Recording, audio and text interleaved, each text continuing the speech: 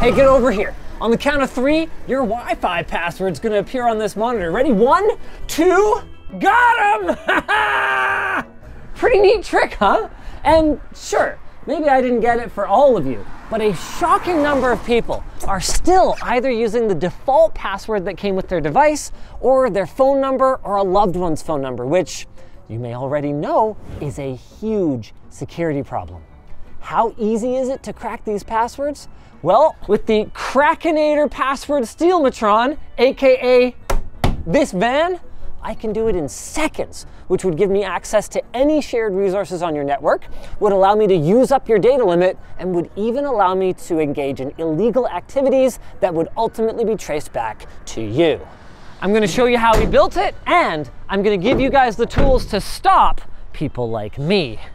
And today's video is brought to you by APOS. LTT keycaps? Yes, they're real. And yes, you can get them right now. Check them out at the link down below where you can get free US shipping. Wi Fi security historically has been a bit lacking. In fact, it... I'm working on it! And if you're thinking, that was a dramatic reenactment, surely it's not that bad. You're right, because it's worse than you think. Whether we get chased off or not doesn't even matter. We can grab everything we need from a target's network in the 30 seconds that it takes them to spot us outside their house and walk out to confront us. So if they're using any kind of phone number password, I should be able to break through it this easily. And it's done. That was it? Yep. While it may shock you to learn how easy it was to crack that network's password, it might also shock you to know that for the majority of Wi-Fi's life, it's kind of been this way. WEP was the first generation of Wi-Fi password protection to find widespread adoption, and at first, it was good enough, especially compared to the alternative of your data just raw dogging it through the air unencrypted. But it took technology only a few years to advance to the point where WEP could be cracked in under a minute. The attack method was pretty straightforward. Every packet of data contained the password in some manner, so if enough packets could be intercepted, they could all be compared to find out what they had in common.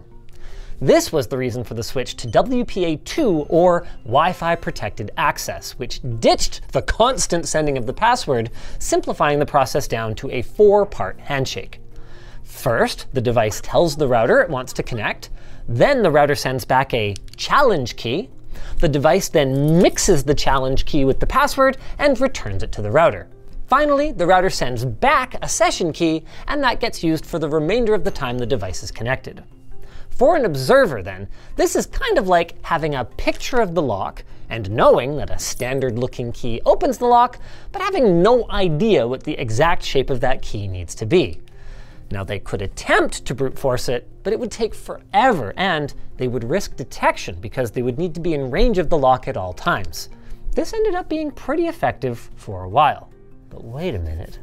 What if, instead of just knowing what the lock looks like, the hacker possessed a collection of exact replicas of the lock, allowing them to try key after key after key without detection. Well, that is exactly what we did. By stealing the complete handshake packet, we've obtained the challenge key and the result of mixing it with the password.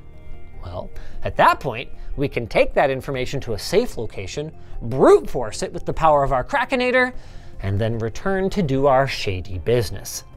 Making things even simpler for ne'er-do-wells, encryption cracking plays real nice with multiple cores, with each core of a processor hypothetically being able to try a different key in unison. And this might not mean that much for CPUs that have only a handful of cores or at most, what, 128, 192? Well, when it comes to GPUs, we are talking thousands of cores. So while we obviously could put hardware with this kind of password cracking capability into a mobile hacking station like this, we don't even need to. All right, let's finally properly meet the Comino Grando RM. Now, just so you remember, the RTX 4090 has 16,000 CUDA cores in it, and this has six of those. I haven't seen one of these for about two years. Every time Comino sends over a system, they are so nice. Actually, before I'm even in, I can see something that is a huge improvement over the last one. Previously, they were using SFX L power supplies, three of them, which is not the best if you want to have a server. This time we have proper server grade power supplies and there are four of them. So I am kind of curious if it will just keep on running if you take one of them out, maybe even two of them out. I have never seen a 4090 like this. This is strange. So we have our power connectors right here, which are uh, not connected to anything at all because Comino have put power connectors on the back of these GPUs. I have seen some PCBs with the pads for these power connectors, but never anything actually installed like this. It looks like Comino's made their own custom PCB for 12 volt high power connectors right here. You can see that we have a couple extra, and if they wanted, they could have heaps, absolute gobs and gobs of GPUs in this thing. I take it this computer is extraordinarily loud. Yes, very. That's loud. These run much quieter. Yeah, and they also can't run any AI workload worth a damn compared to this thing. They're quiet.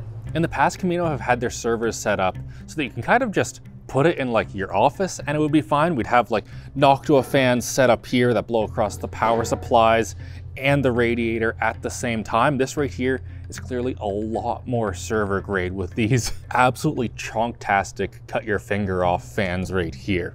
What hasn't changed though is how impressive their water cooling is. In here we have a great big water cooling manifold that's distributing in parallel water to our CPU and all of our GPUs, and then is taking all of that heat and dumping it into this great big radiator with those massive fans. It looks like all of the water blocks are completely custom for Comino. We've got these beautiful GPU ones that are just nice and small. Just look at how beautiful this VRM heatsink is over here. It's just machined out of copper. Everything in here is just absolutely beautiful.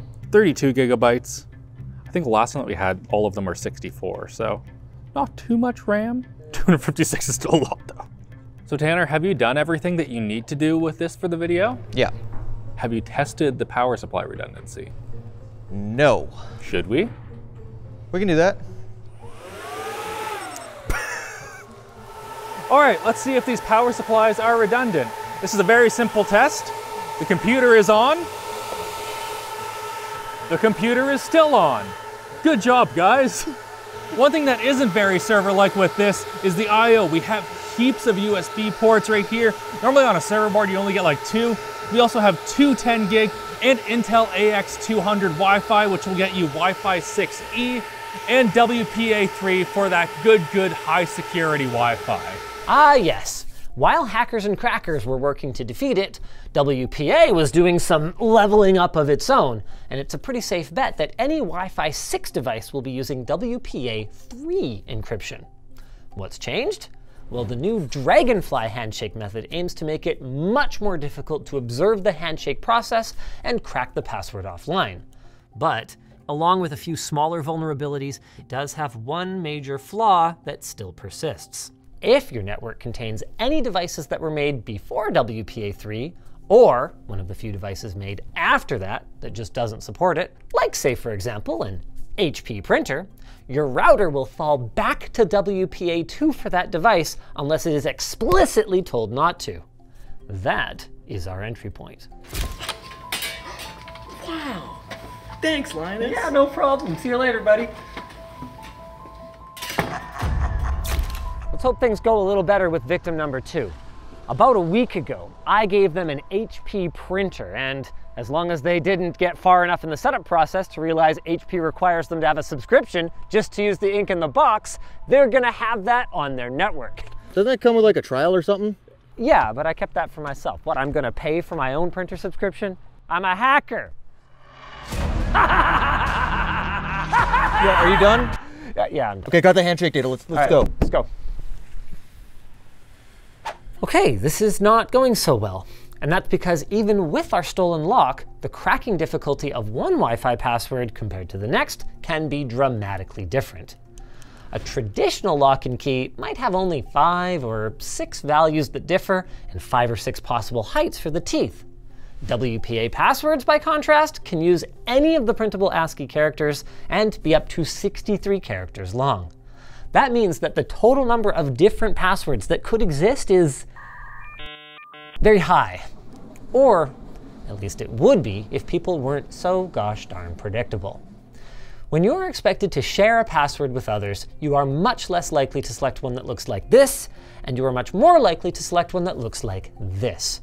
So with a dictionary attack, where a list of words is used instead of random strings of characters, hackers can drastically reduce the number of passwords that they need to attempt, down from 20 quadragintillion, apparently yes, that is a real number, to only hundreds of millions, which might still sound like a lot, until you consider that a single RTX 4090 can attempt over 2 million WPA2 passwords per second. Let's tackle a pretty typical 12 character password then with a number and a special character. And yeah, armed with only a dictionary of a million common words combined with a mask of any non-letter ASCII character, I can take down your super secure but still easy to say password in just seconds. All right then, Linus. If full sentence passphrases don't work, what do I do now? Well, you might try creating a password with a string of random upper and lowercase letters with numbers and punctuation, which is actually great in theory. But unfortunately, once again, people are predictable and they tend to do things like use mnemonic phrases for easier memorization.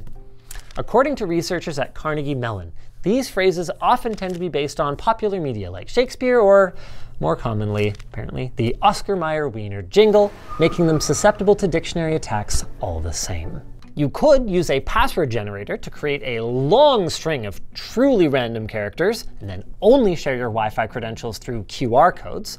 This has the benefits of being both secure and easy to use in most scenarios, but it can be a huge pain as soon as you need to connect a device that doesn't happen to have a camera.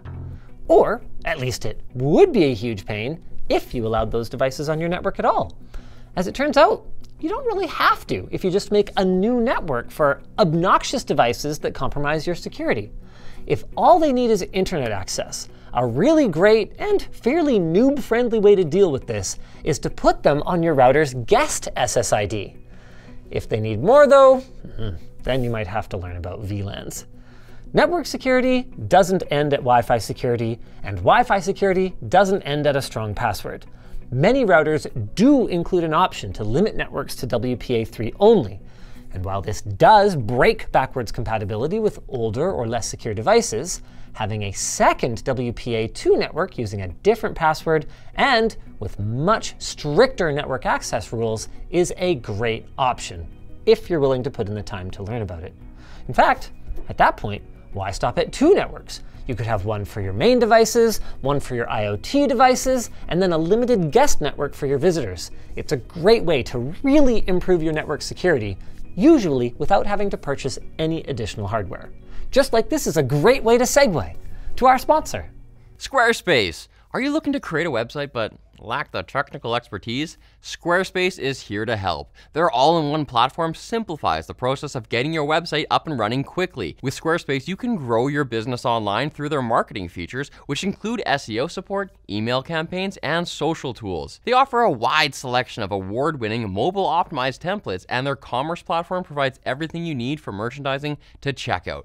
You can also access analytic insights to optimize your website's performance and identify areas that need improvement. If you require assistance, Squarespace has help guides and a 24 7 support team. So visit squarespace.com forward slash LTT to receive 10% off your first purchase. If you guys enjoyed this video and you want a more detailed guide on how to improve your home network security, check out the time that I separated my main network from my IoT devices.